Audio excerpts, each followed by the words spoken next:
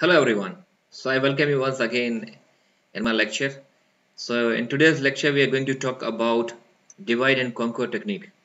We already know that there are different techniques of problem solving like branch and bound, dynamic programming, brute force, divide and conquer, greedy methods. So today we'll focus that what is divide and conquer and how we can solve the problems using divide and conquer approach. Okay, so let's start. So divide and conquer approach is basically suitable for larger problems. We assume that the larger problems can be solved easily if we uh, divide the problem into smaller instances. So whenever we have a problem of larger size, we divide into uh, smaller instances or a, a smaller size problem. So when we talk about divide and conquer, basically we are doing three steps. We are dividing the problem into a smaller instances of, or, or you can say a smaller size problems.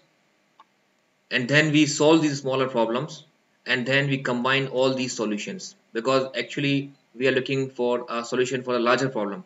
So you divide the problem into smaller size and then solve these problems individually and then combine all the solutions to get a solution for our actual problem. So the normal strategy of divide and conquer is we have a problem of larger size let's say this this is our uh, large size problem. And then we are dividing the problem into two parts. So some strategy says that we divide the problem exactly into two equal parts. And then each sub problem can be keep on divided. Means this is our larger problem. Then we have divided into two small problems. And then we now this becomes individual problem new problem for us. And then again we keep on dividing into smaller parts. This also we divided into smaller parts and so on. And we keep on doing this process until we find a size which can be easily solved. Now example of this approach is like binary search is also a kind of divide and conquer. We have a big volume of data and we are looking for any element. So we divide the problem into into two parts. So it is uh, you can say it's it can fall into this category. Then we have merge sort is there. We have a quick sort is there. These are very uh, popular algorithms which actually based on the divide and conquer now when we talk about the merge sort you will find that when we divide this entire big problem it divides exactly into two halves. But when we talk about the quick sort so when you have a uh, when you have a large problem it does not guarantee that when you divide this problem it will be into two halves. The key objective is to keep the problem keep on dividing. So we have different logics for division and this division is basically defines its running time also.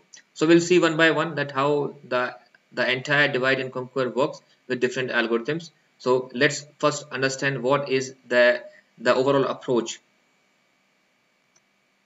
Now let's see how we can apply the divide and conquer to solve a problem. So this is a algorithm of uh, solving a problem using this approach. Let's see so here we are assuming that i is a problem. So i is representing a problem here and we are interested to solve this problem. So first we find what is the size of this problem. So let's say n is the size of the problem. We are assuming that n is large size. Then only we need to apply this divide and conquer. That means a problem is very large to solve at one instance. So we are dividing it into making into smaller instances so that smaller instances can be solved easily.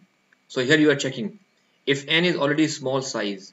Now what is a small size? A small size means the size of the problem which can be directly solved which can be easily solved. So this size can be anything uh, can be any number depending on the problem. Now for example when we talk about the merge sort that is based on divide and conquer we keep on dividing the the larger size until we reach to the size 1 means if you have array of size 20 then you uh, then you will make it 10 then you will make it 5 then you make it 2 and then you make it 1 so when you reach to the size 1 at that time that can be solved easily and you will say that you reach to the small size for that problem.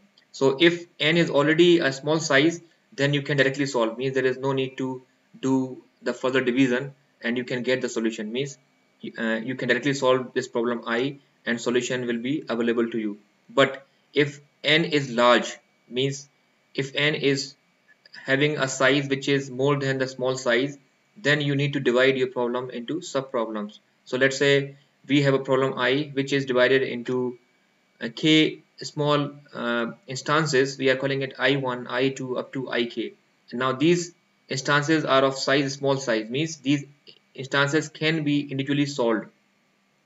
Now so our objective is first to divide i into smaller size problems and then we have to solve each sub problem so for each i in this set we are solving individually.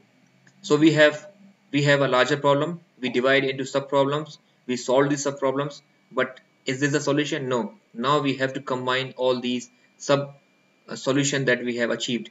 So the final solution is just a combination of all the solution that we have achieved here and then we have to return this solution that we have find out here. And this is the approach of divide and conquer. So divide and conquer we will see in the in the next lecture that how it can be applied in the merge sort and how it can be applied in the quick sort. We will see more about divide and conquer in the next video. Bye for now. Thank you